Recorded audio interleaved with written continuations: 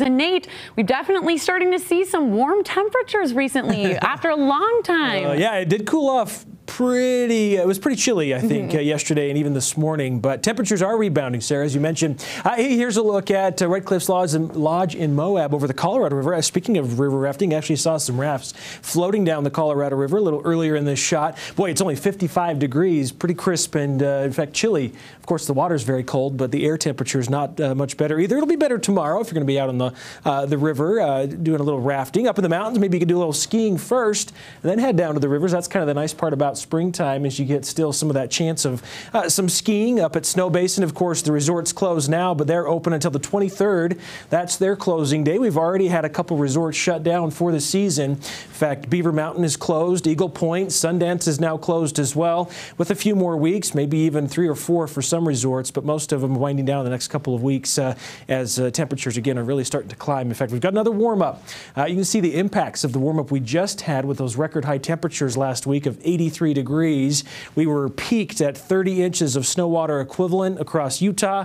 Now we're down to 27.6. Still a lot of water to melt off, but it was a pretty drastic drop with that big warm up in temperatures. We aren't going to get quite that warm with this next round of warmer weather that's moving in, but we'll take uh, some of the warmer temperatures. We're just a little bit cooler than normal. We're sitting in the upper 50s. Beautiful blue skies from University of Utah campus looking south.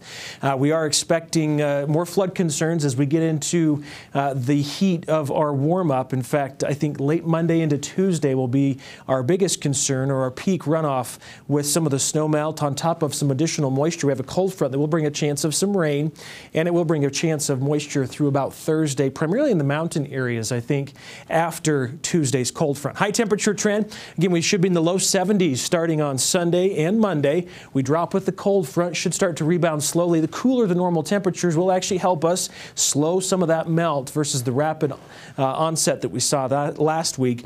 And we will have a bit of a warm up with the southwest flow increasing.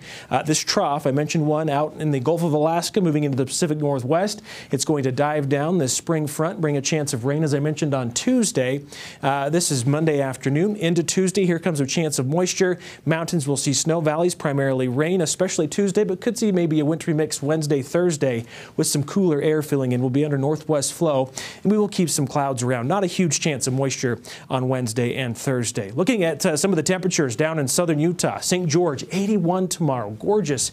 Could see some, uh, again, potential runoff issues near some of the creeks and streams with uh, these warmer temperatures. 83 degrees on Monday, breezy winds on Tuesday as well. We dropped to 69 degrees on Wednesday, back into the low 70s on Thursday, upper 70s Friday, and 80 degrees again on Saturday. So a bit of a roller coaster ride, typical for springtime with some of those kite flying conditions. Lots of breezy winds expected uh, with some of the next systems moving through.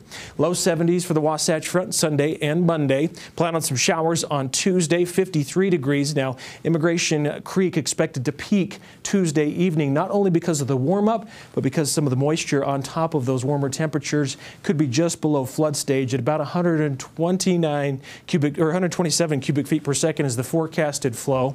Uh, flood stage is 130 cubic feet per second. Wednesday, rain snow chances with a slight chance on Thursday. Should see uh, improving conditions into Friday. We'll take off that rain snow chance. Should be partly cloudy and then 61 degrees on Saturday, partly cloudy as well. Wes and Sarah?